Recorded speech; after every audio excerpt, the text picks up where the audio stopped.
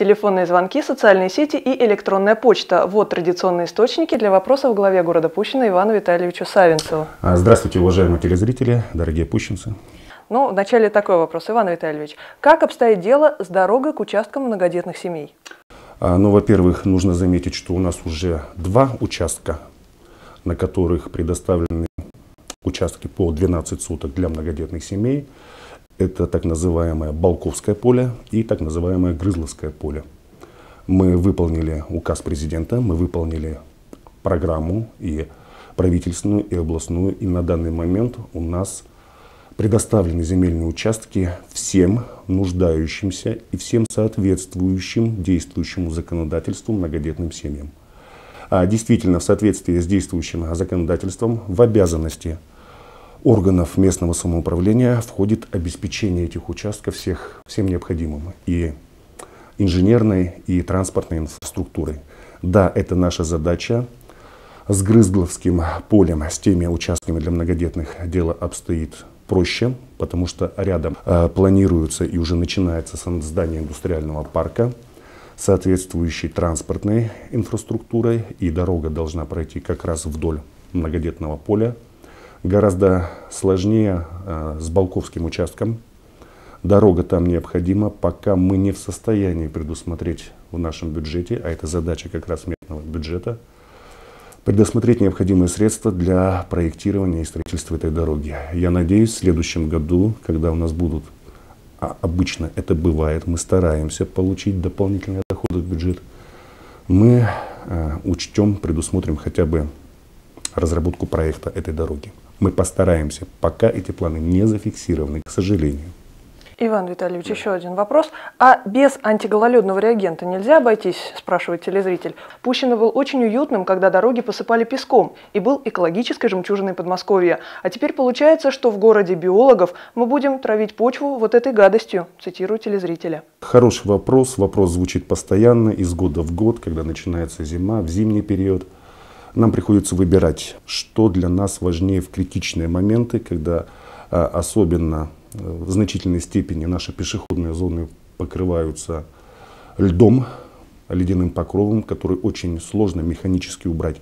Что для нас важнее, риск действительно нанести а, урон окружающей среде, либо здоровье наших жителей. Да?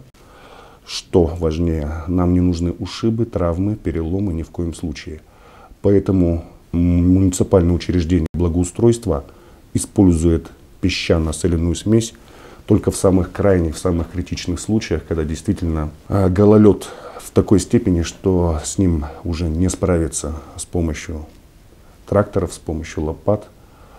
И при этом мне сегодня рассказывали специалисты, используют песчано-соляную смесь с минимальным, не более 3% содержанием соли. Еще раз подчеркну, используется она в самых критичных, в самых необходимых случаях, и мы стараемся делать это минимально. Впереди важное политическое событие да. – выбор президента России, определение будущего страны. Как ведется подготовка к дню голосования? В чем для нашего города будет заключаться этот процесс? А, подготовка только-только начинается на днях, буквально на днях.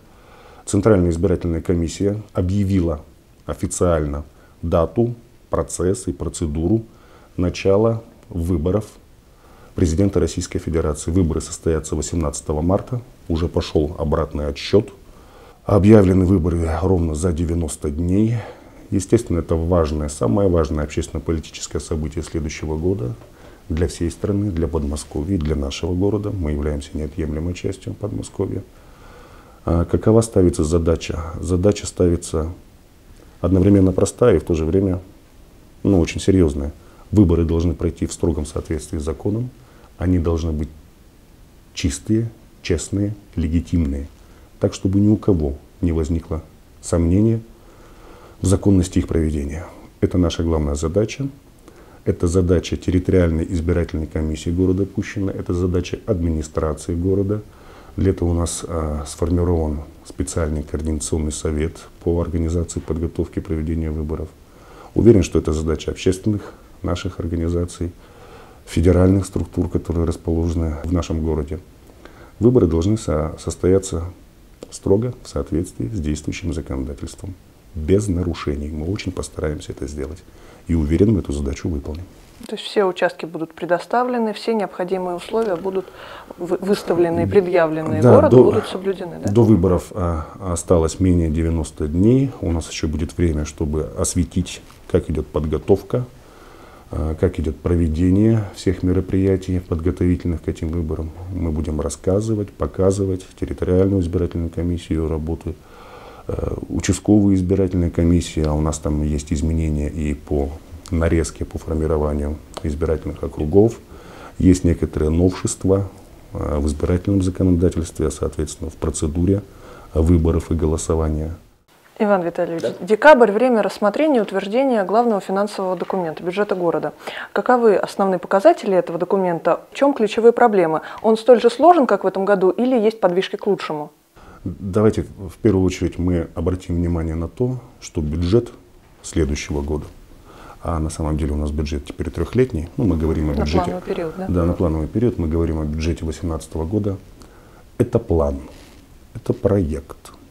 И когда мы берем два документа, утверждаемый бюджет на следующий год и отчет об исполнении бюджета в конце года, ну, это, в общем-то, документы разные.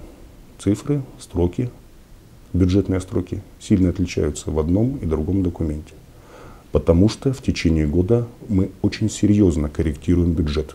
Появляются дополнительные источники дохода, те, которые мы не могли спрогнозировать изначально. Появляются непредвиденные источники расходов, участие в программах, новые обязательства. И э, бюджет это живой организм. Он очень серьезно меняется в течение года. Тем не менее... Обычно растет. Обычно растет. Обычно растет. И нам важно проект бюджета принимаемый сформировать максимально реалистично, чтобы не ошибиться в обратную сторону, в минус. Это первая задача. И сделать так, чтобы реально доходная часть бюджета была больше. Сложно спланировать, но мы стараемся. Ищем дополнительные источники, участвуем в программе. А, тот план, который сформирован сейчас, он похож на проект бюджета предыдущего года. Мы выносим его на рассмотрение и утверждение на ближайшем заседании Совета депутатов. Я думаю, все пройдет, э, все пройдет успешно, и он будет утвержден. А дальше, дальше над ним нужно будет работать. Наполнять. Наполнять, исполнять и наполнять. Спасибо большое, Иван Витальевич, за беседу и за ответы. Спасибо вам, приглашайте еще.